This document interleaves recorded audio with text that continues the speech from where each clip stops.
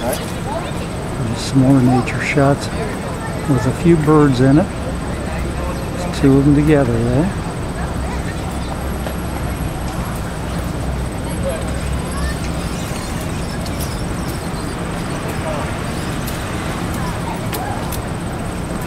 This tape is about to end and I'm just about out of battery as well.